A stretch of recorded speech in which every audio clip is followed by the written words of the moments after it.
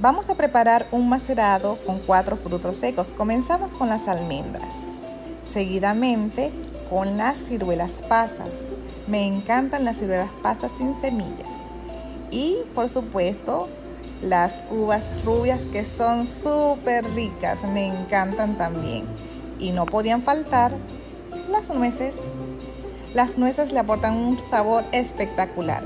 A ello le vamos a colocar malta, le vamos a colocar vino, en este caso la Sagrada Familia.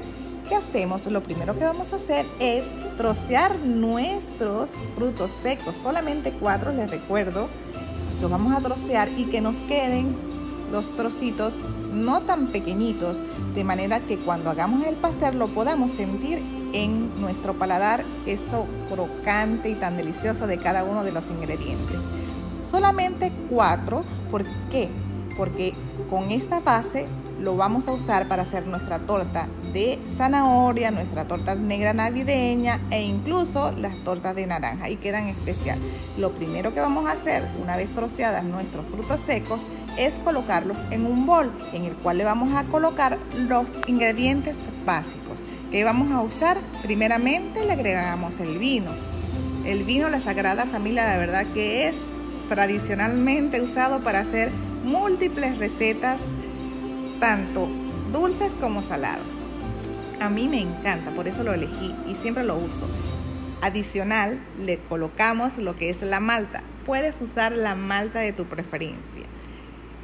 De verdad que esta receta es súper versátil porque de acuerdo al pastel que hagamos, lo podemos usar como un macerado base y lo ideal de él, lo genial de él es que no necesitamos mucho tiempo para usarlo. Lo puedes usar inmediatamente que lo hagas, al día siguiente está mucho mejor, pero no hay limitante para ello.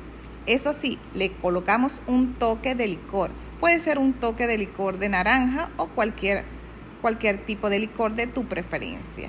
Simplemente con estos ingredientes vamos a obtener un macerado que van a darle unos pasteles súper deliciosos, de verdad que sí.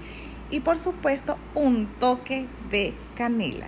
No le olviden colocar su canela porque le da ese toque especial para nuestros pasteles, ¿sí?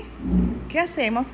Luego de tener todos los ingredientes en nuestro bol, lo que hacemos es que lo movemos para unificarlos, mezclamos y posteriormente lo envasamos en un envase herméticamente cerrado, preferiblemente de vidrio.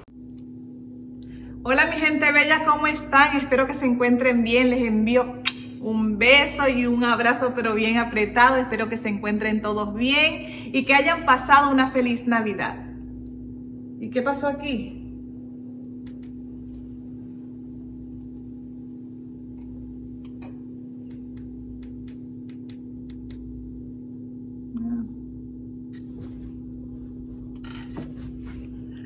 Hola mi gente bella, ¿cómo están? Espero que se encuentren muy bien. Les envío un beso y un abracito bien apretado. Espero que el día de hoy aprovechen bien esta receta que le acabo de dejar.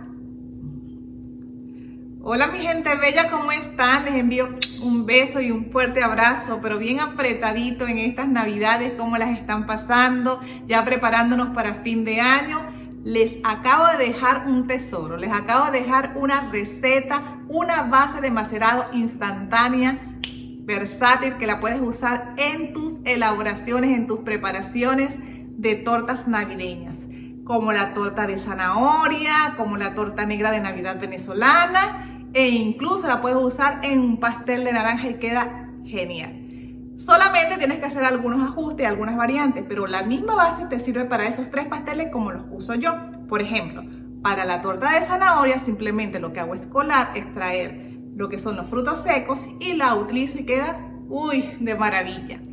Para la torta negra de Navidad lo que hago es usar ese macerado completo e incluso parte de su juguito como tal con sus frutos secos le incorporo frutas confitadas, naranja confitada y cerecitas y me queda súper genial. Claro está, con la receta de la torta negra. Y para hacer mi pastel de naranja, le saco sus frutos secos y le incorporo solamente naranja confitada. Entonces, Conserva esta receta y que sea de buen provecho. Es ideal. Lo importante es, es que a veces entramos en crisis porque no preparamos de hace años y años y años ese macerado. No tienes que correr, no entres en crisis. Con esta, esta receta te queda perfecto, te queda riquísimo y no tiene nada que envidiar a un macerado de años, porque de verdad que su sabor es fresco, es delicioso y sé que es una receta segura. Listo, esta sí quedó. Ah, ya va. Me faltó decirles algo. No se pueden perder mi próximo video porque voy a preparar una torta negra venezolana, venezolanísima, deliciosa con este macerado que les acabo de dejar. Así que los espero.